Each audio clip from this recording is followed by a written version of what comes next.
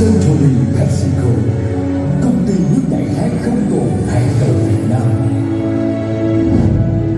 Tại Việt Nam, chúng tôi tự hào với hành trình 30 năm đồng hành và phát triển bền vững.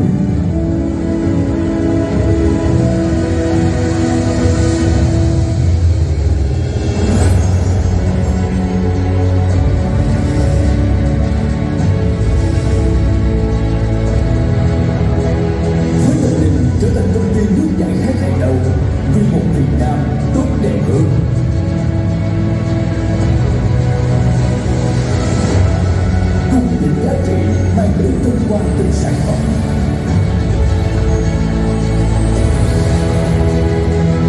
chúng tôi luôn tự tin thắng định vị thế là người đứng đầu thị trường.